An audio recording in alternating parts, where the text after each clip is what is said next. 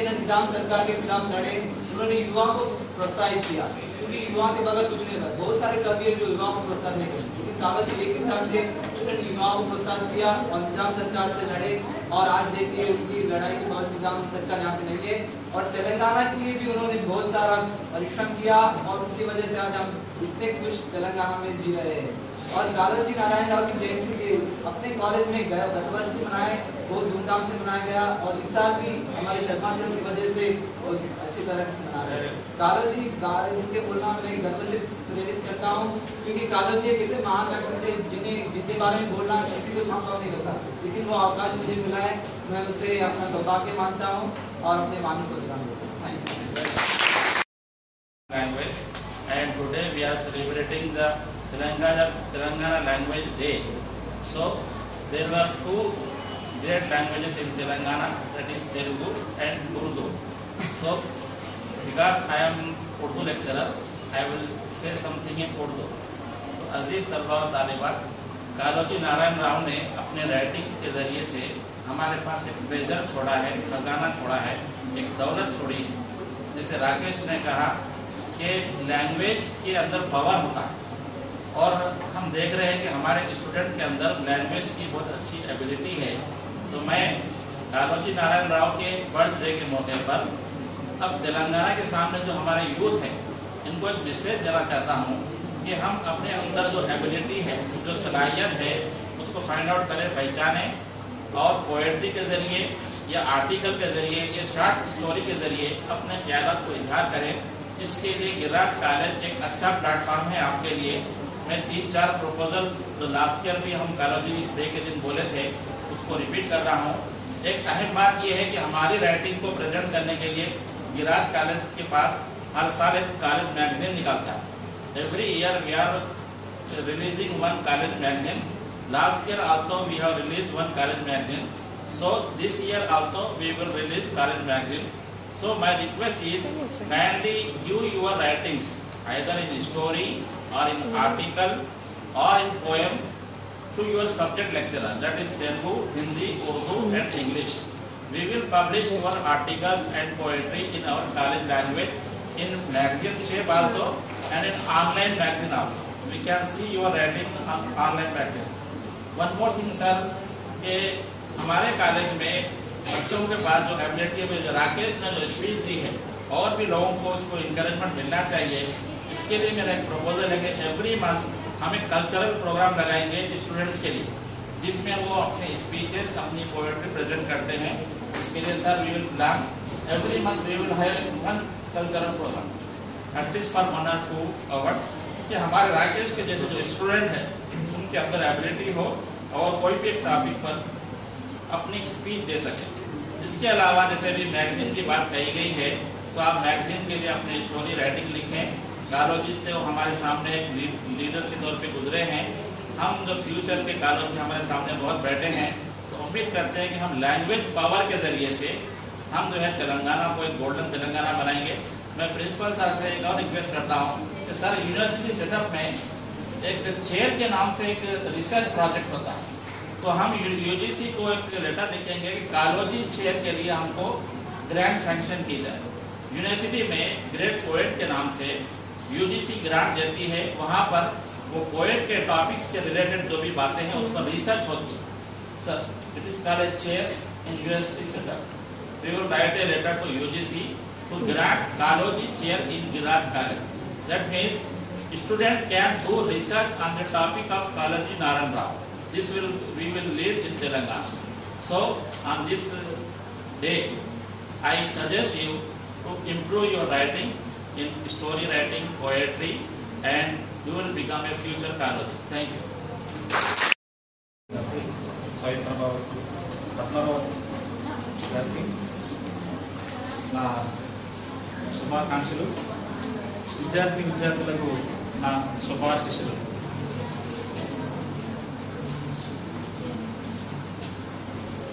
తెలంగాణ భాష దినోత్సవ సందర్భంగా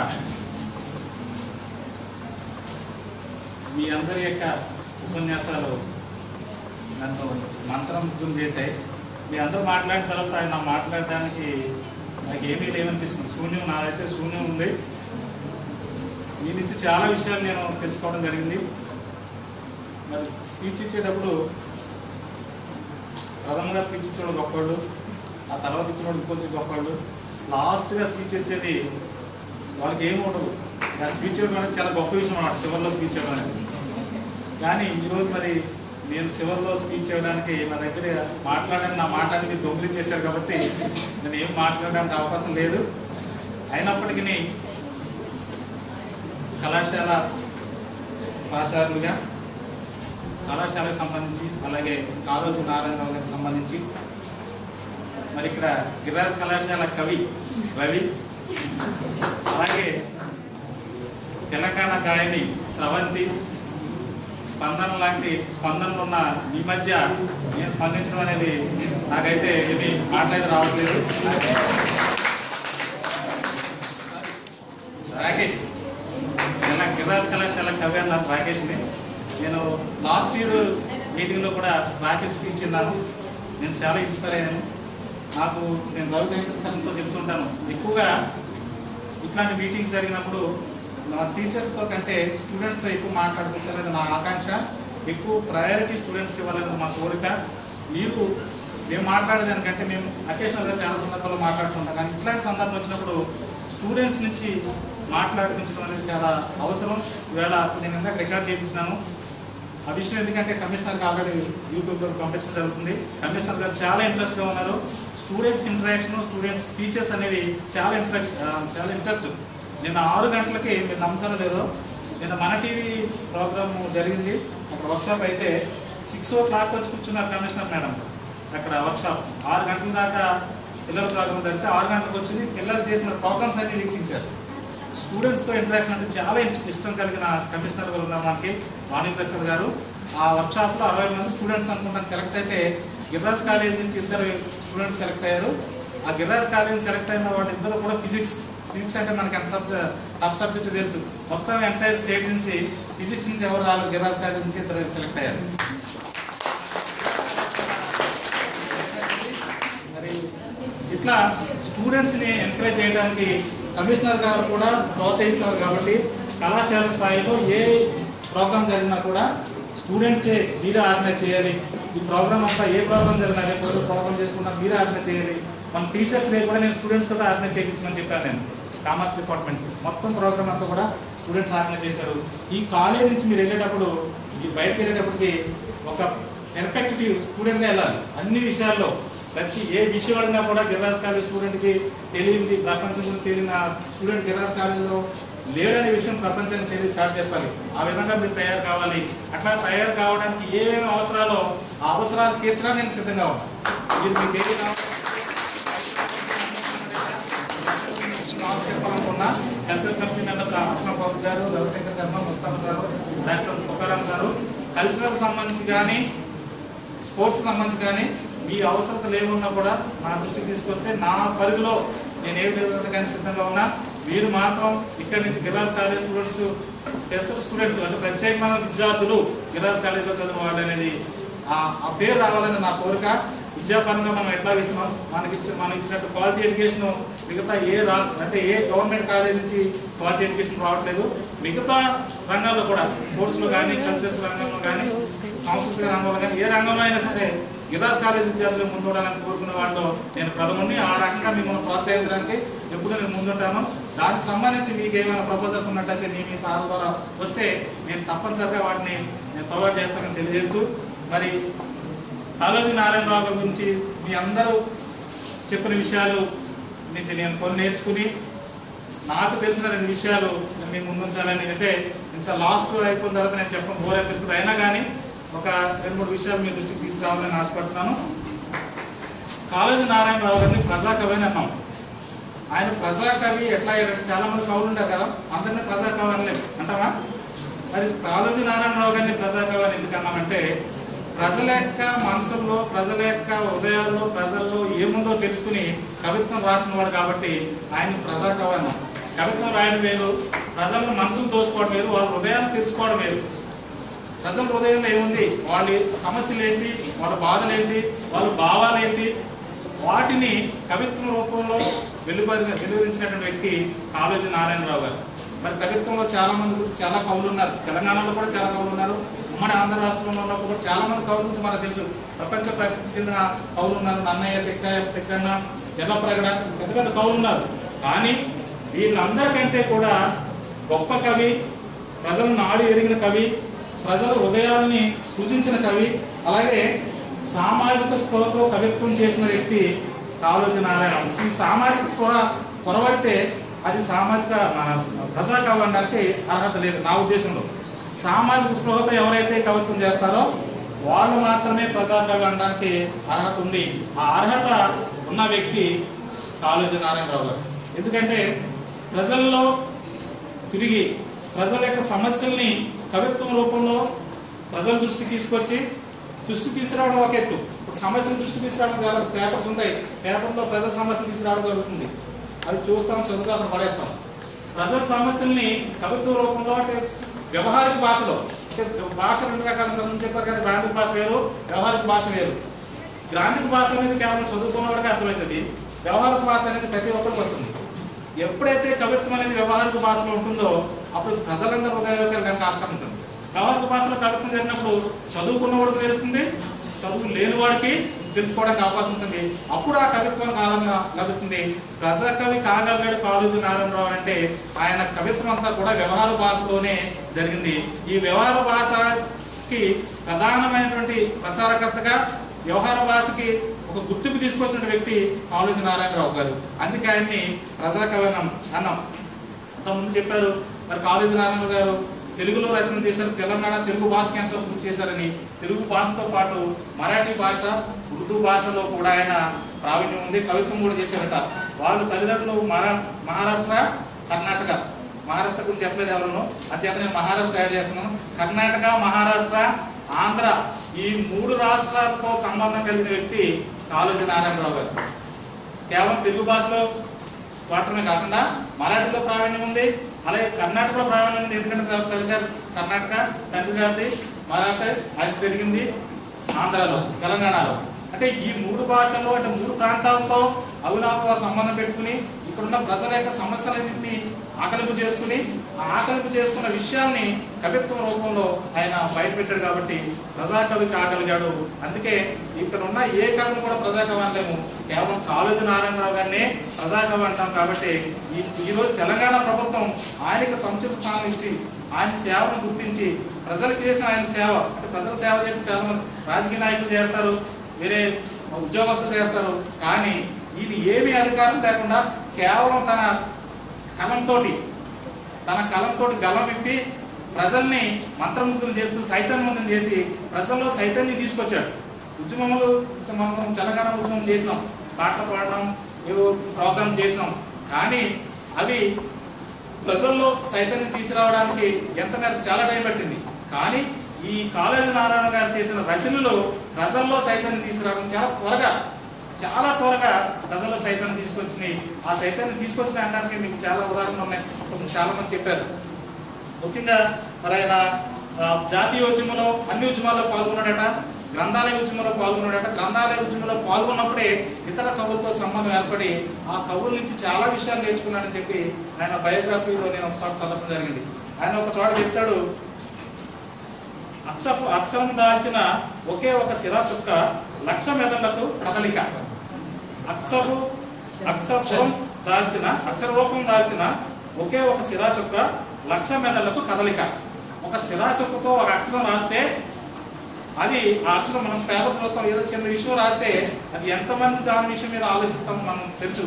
అంటే ఒక ఒక సిరా శిరాతో ఒక రాసిన అక్షరం లక్ష మెదడుకు లక్షలు కావచ్చు కోట్లు కావచ్చు మిలియన్ కావచ్చు ఎంతో మంది మనసుల్ని వాళ్ళు బెదిరింపజేస్తుంది కదిలింపజేస్తుంది అని చెప్పి చెప్పిన మహనీయుడు కాళోజీ నారాయణరావు. ఇవాళ అక్షరం ద్వారానే మరి తెలంగాణ ఉద్యమాన్ని కానివ్వండి తెలంగాణ ప్రజల్లో కానివ్వండి ఈ సైతాన్ని తీసుకురాగలిగారు. మరి తెలంగాణ సాధించుకున్నామంటే ఈయన కవిత్వ రూపంలో అంటే ఆయన చేసినట్టు కావ్యాలు లేదా కవిత్వం ఏవైతే ఉన్నాయో అవే స్ఫూర్తి స్ఫూర్తినిచ్చింది ఆయనే.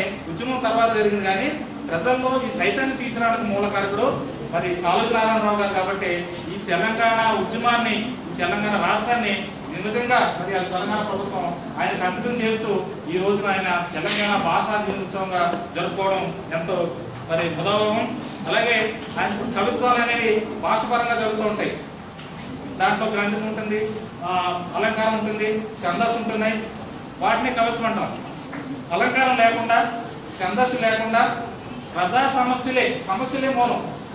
సమస్యల్ని ఆకలింపు చేసుకుని వాటిని కవిత్వ రూపంలో చెప్పగలిగాడు కాళేజీ నారాయణ. అందుకే ప్రజాకవి కాగలిగాడు ఆయన ఒక కవిత గురించి నేను సమాజంలో ఉన్న వ్యత్యాసాల గురించి సమాజంలో పేద దళిత వర్గాలు రాజులు శ్రామికుల మధ్య ఉన్న వ్యత్యాస వ్యత్యాసాల గురించి ఆయన ఒక కవిత్వం చెప్పాడు చూడండి. అన్నపు రాజులు ఒక చోట ఆకలి మంటలు ఒక చోట హంస పూలికలు ఒక చోట అలసిన దేహాలు ఒక చోట. ఇప్పుడు ఏమైనా ఛందస్సు ఉందా? అలంకారం ఉందా? కేవలం అక్కడ సమస్యలు అన్నపు రాజులు ఒక చోట.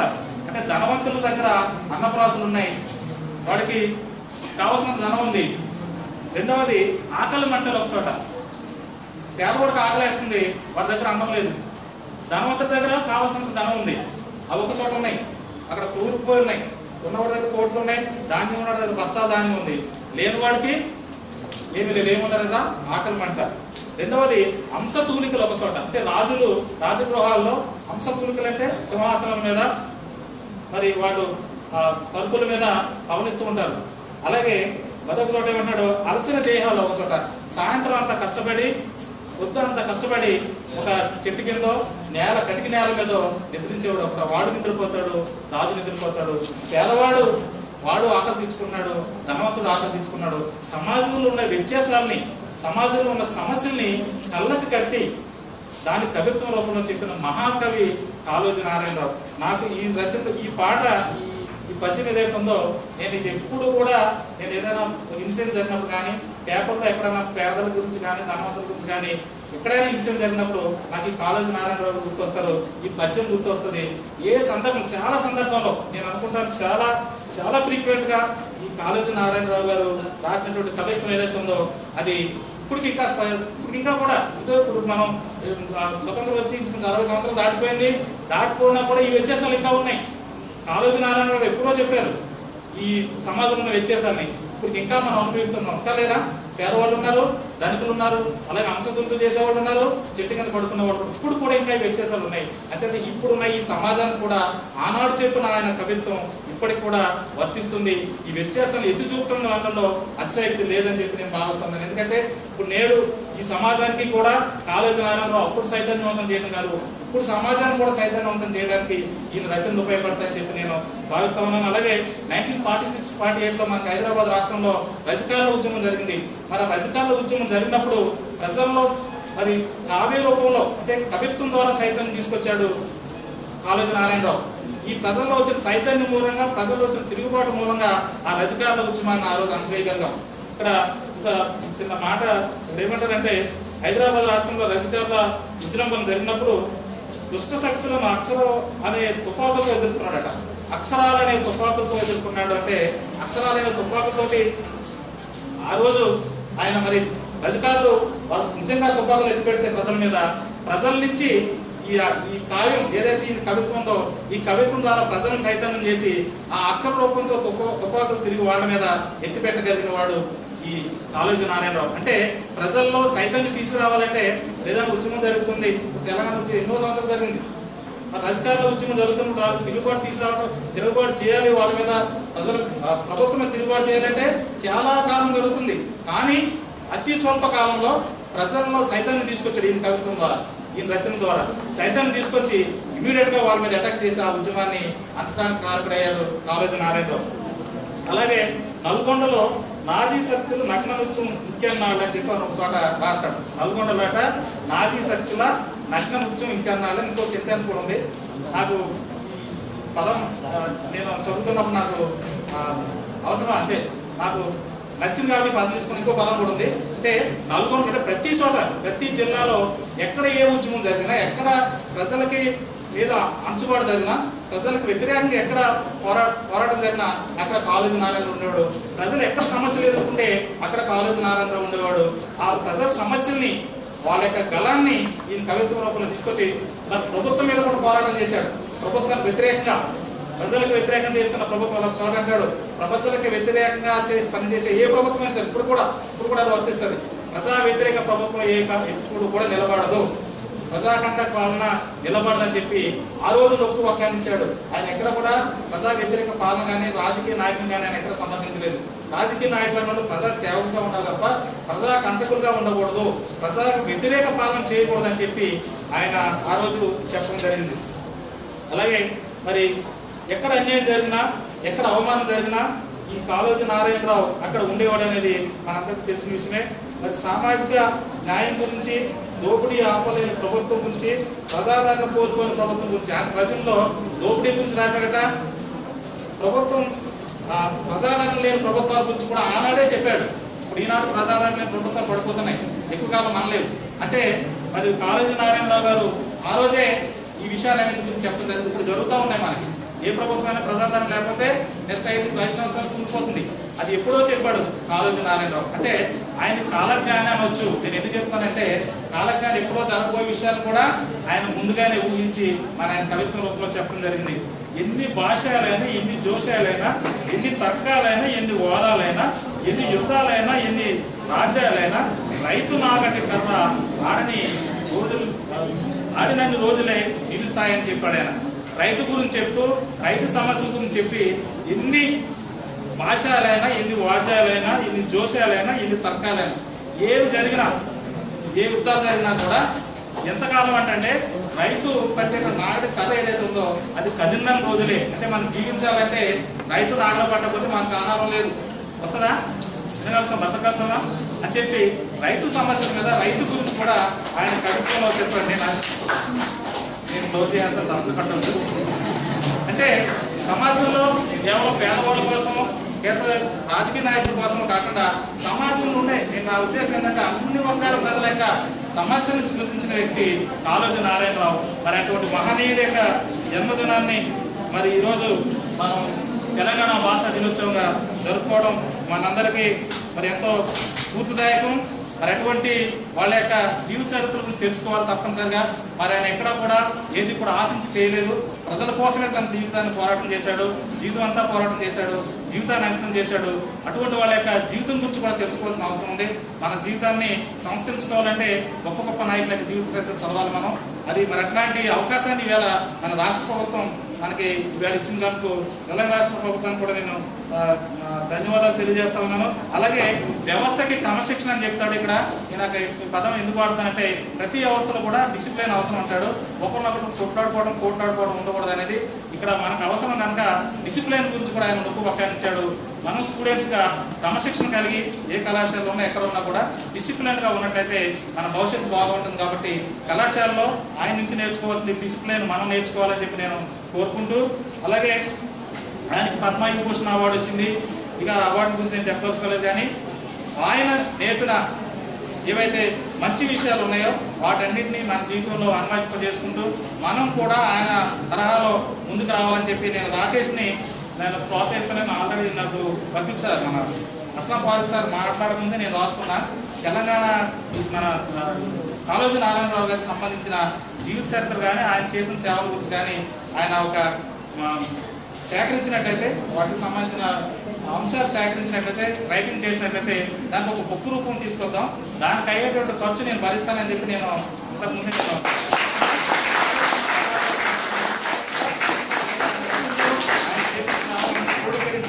మీరు వాళ్ళు ఒక రచన చేసినట్లయితే దానికి ప్రింటింగ్ చేయడానికి అయ్యేంత ఖర్చు నేను భరిస్తాను. దాన్ని అతి త్వరలో రాకేట్ చేస్తాడని చెప్పి నేను కోరుకుంటూ అందుకే గిరిరాజ్ కళాశాల కవిని పెట్టి ముందే నేను ఆయనకి ఆ, ఇవ్వడం జరిగింది. మిమ్మల్ని ఎవరైనా సరే రచన చేసేవాడు కానీ స్పీచ్ ఇచ్చేవాడు కానీ పాటలు పాడేవాడు కానీ ఎట్టి పరిస్థితులు ఈ కాలేజీలో వెనుకుంటానికి వీల్లేదు. ముందుకు రావాలి ముందు నుంచి కూర్చోవాలని మేము ప్రోత్సహిస్తాం. మీకు ఏ రకమైన సహకారం కావాలన్నా మేము అందించడానికి సిద్ధంగా ఉన్నాం. మీకు ఏమైనా ట్రైనింగ్స్ కావాలన్నా వాటికి సంబంధించిన లిటరేచర్ సంబంధించిన బుక్స్ కావాలంటే కూడా నేను లైబ్రరీ తెలుగు లైబ్రరీకి మన చెప్పడం జరుగుతుంది. ఇది వాటికి సంబంధించిన బుక్స్ కూడా పరిచయం చేపిస్తాం. ఇది రీసెర్చ్ చేయండి. ఇంతకుముందు అన్న సారు యూజీసీకి రిఫర్ చేద్దామని పంపిద్దాం. ప్రపోజల్ తయారు చేయండి. యూజీసీ పంపించి యూజీసీ కూడా మనకి ఏమైనా ఫైనాన్షియల్ అసిస్టెన్స్ చేస్తే మరి కళాశాలకి వ్యక్తిగతంగా ఆయనకి కళాశాలలు ఇంకా చాలామంది కూడా ముందుకు రావడం కాబట్టి యూజీసీ ఫైనాన్స్ ఇస్తుంది కాబట్టి మనకి ఎటువంటి ఇబ్బంది ఉండదు. ఆ రకంగా కూడా దాని ప్రపోజల్ తయారు చేస్తే నేను సబ్మిట్ చేస్తాను పంపిస్తాను సార్. అది ప్రోత్సహిద్దాం. అలాగే కాలేజీలో కల్చరల్ ఫెస్ట్ నిర్వహించమని చెప్పి కమిషనర్ గారు ఆదేశాలు ఉన్నాయి. ఈ నెలలో కల్చరల్ ఫెస్ట్ నిర్వహించవలసి ఉంది. కల్చరల్ కమిటీ ఇక్కడ ఉన్నారు కాబట్టి నేను వాళ్ళకి మళ్ళా సూచన చేస్తున్నాను ఈ నెలలో స్టూడెంట్స్ సంబంధించిన కల్చరల్ యాక్టివిటీస్ ఏవైతే ఉన్నాయో వాటిని ఐడెంటిఫై చేయండి. చేసి ఒక రోజు ప్రోగ్రామ్ అరేంజ్ చేయండి. అరేంజ్ చేసి దాన్ని రికార్డింగ్ చేసి కమిషనర్ పంపిద్దాం రిపోర్ట్ పంపిద్దాం. ఈ నెలలో చేయవలసింది కాబట్టి స్టూడెంట్స్ ఉన్న టాలెంట్స్ని బయటకు తీసుకురావడానికి మీరు ఎటువంటి కృషి చేసినా నేను నాకు ప్రోత్సాహం ఉంటుంది కాబట్టి ఆ కల్చరల్ ఫెస్ట్లో మీరు అందరూ పార్టిసిపేట్ చేయాలని కోరుకుంటూ ఈరోజు మరి తెలంగాణ భాషా దినోత్సవ సందర్భంగా మీ అందరితో మరి ఇంతసేపు గడిపే అవకాశాన్ని నాకు ఇచ్చినందుకు మీ అందరికీ మరొకసారి ధన్యవాదాలు తెలియజేస్తున్నాను.